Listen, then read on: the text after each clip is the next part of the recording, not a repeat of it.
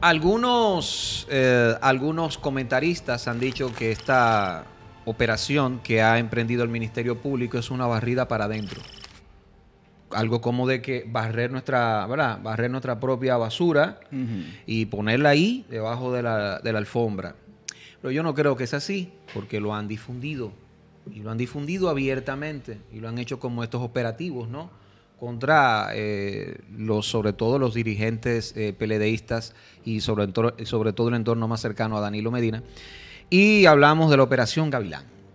La Operación Gavilán, pues... eh, Por fin un nombre que no tiene que ver con una pecera.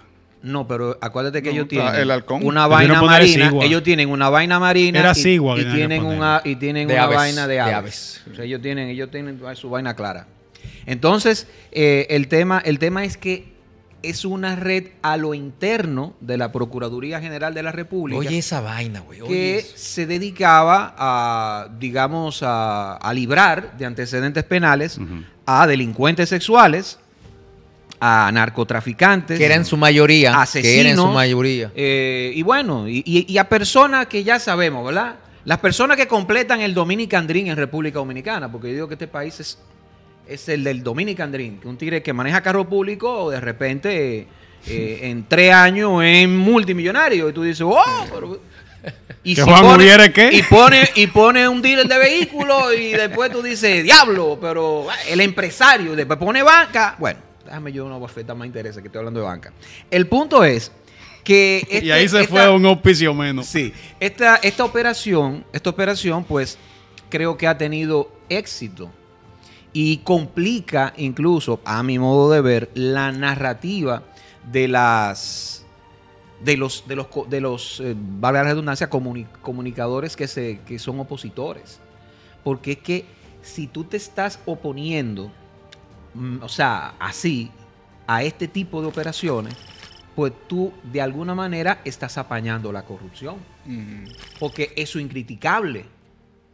Eso es incriticable la procuraduría está haciendo una profilaxis No, pero. entonces lo que critican es, se está haciendo un allanamiento a sí mismo. Eso no se puede. no, no, no, no. Eso yo lo he escuchado. Sí, sí, sí, yo sí, pero me, digo, me estoy refiriendo a que. Coño, si es así, Un, es oye, un argumento tan Roberto Rodríguez estúpido. Marchena, si es que está distribuyendo esa vaina desde el PLD, está jodón.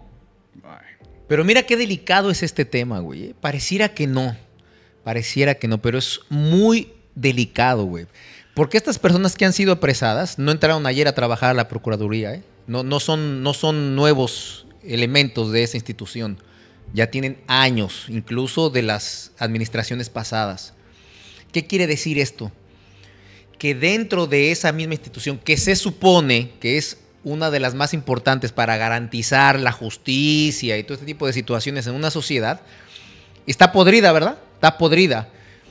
Porque al dejar fluir esa mafia, no tener un control de tus elementos a los cuales están para, para eso, para prevenir todo esto de lo que están siendo acusados, te habla de la calidad, digamos, de corrupción que ha habido en las instituciones públicas. Es decir, el narcotráfico en este caso, para mí, para mí esta vaina del gavilán es una operación del narcotráfico. No ni siquiera de los violadores ni nada de eso. En su mayoría son fichas de narcotraficantes que pagaban mucho dinero, mucho dinero a estas bandas para quitarles la ficha, para que en el sistema, en el sistema famoso de candados y toda esta vaina de la tecnología que se supone que tiene la, PG, la PGR, que se supone que es una de las más modernas, fácilmente entraba cualquier tipo de esos coludidos porque necesitan diferentes claves, porque saben quién entró a esa computadora, tú te mueves de escritorio y saben que fue fulano porque necesitan tu, tu clave, borraban la ficha, desaparecía del sistema la ficha del narcotraficante de Ocoa. Llegaba mucho dinero a eso que se repartían entre 20 personas y por consiguiente se tenía que repartir a los senadores o políticos que metían a las personas a trabajar en esa institución. Ese es el verdadero problema, porque no solamente son esos muchachos que estaban ahí, no solamente son los que dominan la, la tecla de la computadora y que se saben la clave, son la gente que los ponía ahí para favorecer a esos narcotraficantes, que normalmente siempre son los narcotraficantes que tienen contactos con los políticos. Un narcotraficante nunca va a solicitar la ayuda de un muchacho de- de- del, departamento de tecnología de una institución. Es difícil eso. Siempre es acompañado de la misma mafia para poder tener y organizada que estaban. No es espontáneo, es una organización por lo que yo estoy explicando de las claves y de todas las situaciones que se presentan en un departamento de tecnología.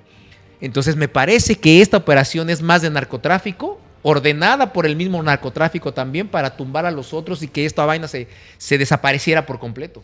Bueno, también hay que decir, para, para no dejar esta información coja, que esto sale a raíz del narcotraficante ese conocido como la J, Como la J. que amenazó a la procuradora Miriam Germán Brito. Eh, supuestamente.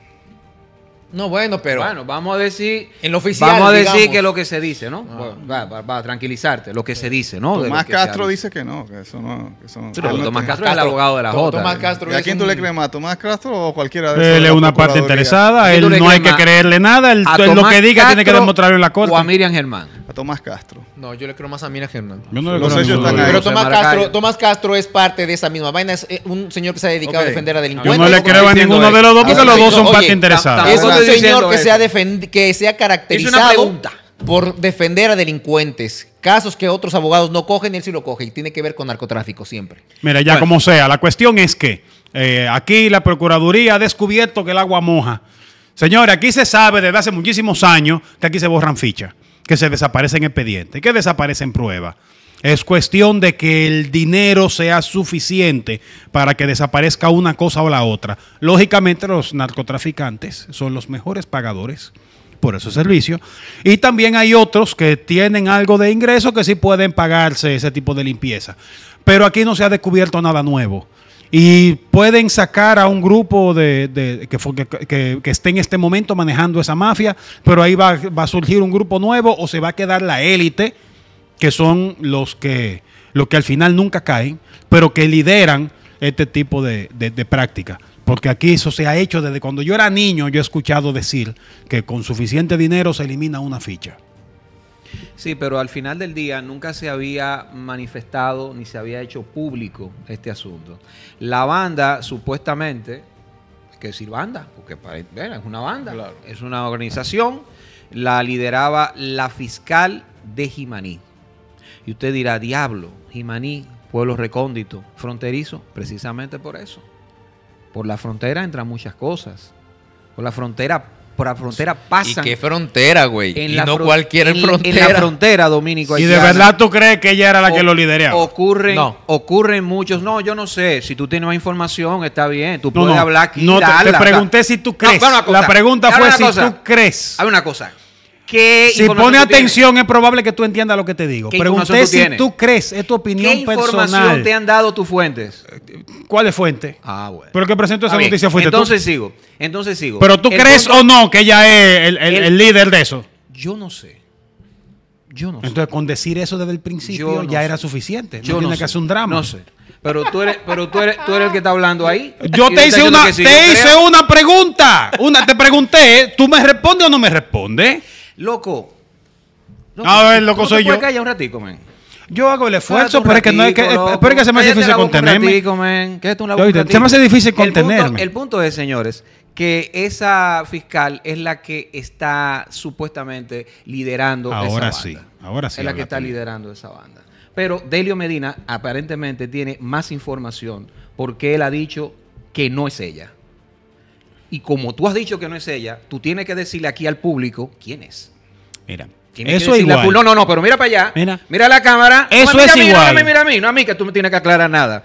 Porque yo Ok. sé que tú no sabes. Está Pero tú ya. debe la Ah, cámara ahí esa- ah, cámara. y da información. Ahí esa sabe muchas cosas. Mira. Mira, lo que, es- lo que Mira. sabe de, de, de Luisín Este Jiménez. caso es similar a cuando agarraron al coronel en la patana de Quirino. Sí. Ah, un coronel. Mira que. Y resulta que no, que no era del coronel. Era de Quirino, pero ¿qué pasa? Quirino es capitán.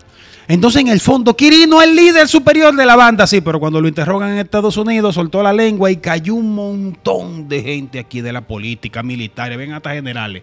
el cayeron. no oh, sí, señor. No Aquí, se, aquí se, se pusieron en retiro varios generales porque fueron pedidos en extradición. Y se le pusieron en retiro para poder entregarlo como civiles a las autoridades estadounidenses por el caso que comenzó como, como el de Quirino y terminó como Figueroa Agosto, el caso. Entonces, no creo que aquí se vaya a llegar tan profundo en la investigación, Pero yo estoy convencido de que al igual del caso del coronel de la patana de Quirino, que no era el líder, jefe, dueño, ni nada que se le pareciera, esta fiscal de Jimaní otro peón más en el proceso y en este caso sería la parte flaca por donde rompió la soga. Porque eh, eh, eh, la- violar un, un- un sistema de seguridad para alterar un dato sin dejar el rastro de que de quién y qué fue que lo alteró, ahí tiene que haber alguien con, con, con clave que superan al, al usuario No, promedio. yo, creo, yo creo que normalmente en este tipo de acciones eh, la, la mafia está controlada por gente más poderosa y siempre son políticos. Siempre son políticos. Los políticos dominan a los militares y los políticos dominan porque se organizan obviamente entre ellos. Ellos son los que quitan y ponen. Y siempre va a tener que ser o tiene que haber un culpable, un chivo expiatorio o como se le llame, para que la mafia de los políticos siempre esté cubierta.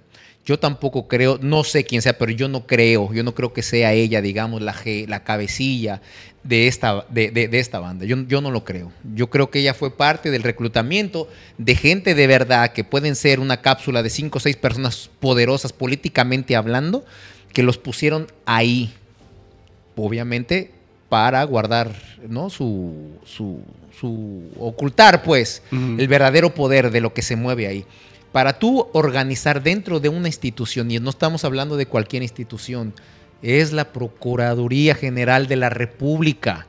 Organizar una banda dentro de eso, donde están controlados, donde hay contrainteligencia en la propia institución, se necesita de mucho poder.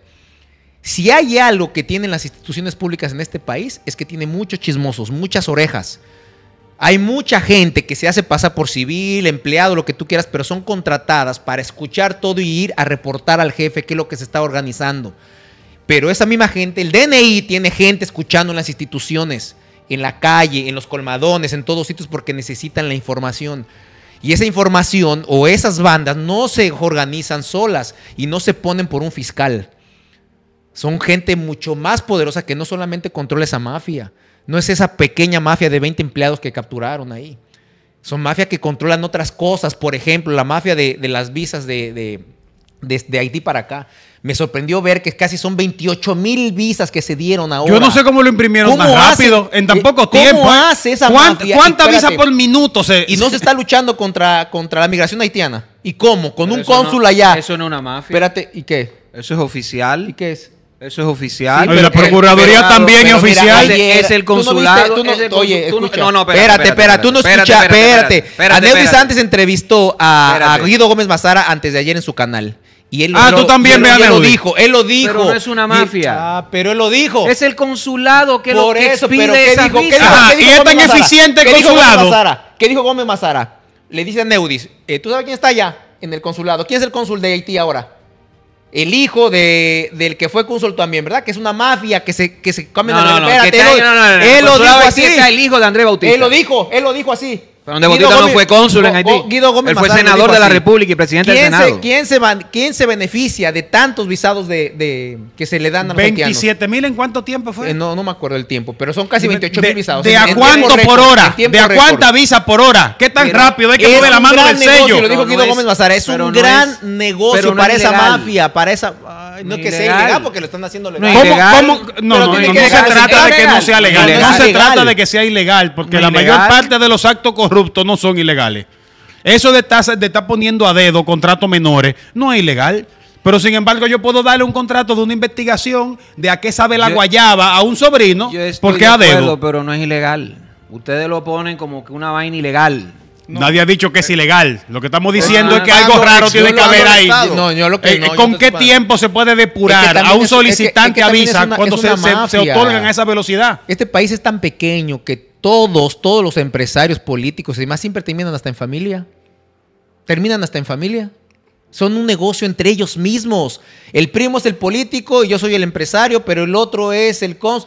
Es así de Pero chiquito. ¿qué tú puedes esperar de un país como Haití donde hay seis consulados dominicanos? Tú. Es un negocio Y legal. es una embajada muy peleada por los que quieren, Oh. que quieren hacerse dinero. Se, Es un se negocio pelean y la legal. cuota es muy cara para tú ser embajador de Haití. Entre 400 mil, ¿cómo es? Entre 400 mil y 500 mil dólares se estima que gana un cónsul. Pero eso es legal. de Haití. Ven acá, a propósito, a- a- Pero a- no dominicano en Haití. A propósito de, de- que- de beneficio, mire, como cuánto la que gana un, un fiscal. ¿Alguien, ¿Alguien sabe No, no sé. cuánto está ganando un Pero, ¿Qué fiscal? eso? Estamos hablando del... del No, no, estamos hablando del, de la Procuraduría y de la serio? mafia de borrar la, la ficha. Entonces, eh, a la hora de borrar las fichas y meterse un dinerito en el bolsillo, cuando viene a ver uno solo de esos fiscales, se ganaba él lo que gana la Procuradora en un año. No, pero obviamente Así que eh, eh, si la Procuradora no está ahí, que se cuide en el puesto, porque ahorita re- hacen una colecta entre ellos y consiguen con qué financiar que la quiten, que la destituyan. Resulta que la institución que se debe de encargar en combatir la delincuencia tiene los propios delincuentes trabajando en esa institución. Bienvenido Ah, a la cabrón. República Sí, Dominicana, pero, querido sí, pero, Charro. sí, pero usted, tú hablas como que eso no es ahora. A eso, a esa procuraduría que está ahí, la mayoría de sus fiscales son de Jan Alain. Y, Todos esos que están ahí son fiscales de Jan Alain. y Sí, pero yo dije que no, que no, será- no es que era ahora. Yo dije hasta de administraciones pasadas que esas personas. Yo estoy están hablando ahí. con él, no es contigo. Ya. Y a mí- mafia- y a mí qué me importa con quién tú dije- hablando. Yo dije al principio. Mi favor. opinión- Mira, mutealo. Mi opinión es mía, no- cállame. no tiene que ver con quién yo estoy hablando. que tú ibas a traer un talento aquí, pero, tú, pero este hombre no se Eh, calla. maestro Delio Medina. Yo dije al principio. Ya, vamos alias tu azote. Ya, me voy a, me voy a llevar. ¿Qué azote de qué? Tu Lo que pasa es que a mí me da pena el canal, el contenido y la vergüenza que estamos pasando. Esto es la quinta pata, Delio Medina que no se calla y no dice nada, José Maracayo, Fernando González, Edwin Cruz, activen campanita, denle like, bla, bla, bla, bla. bla y dejen un comentario.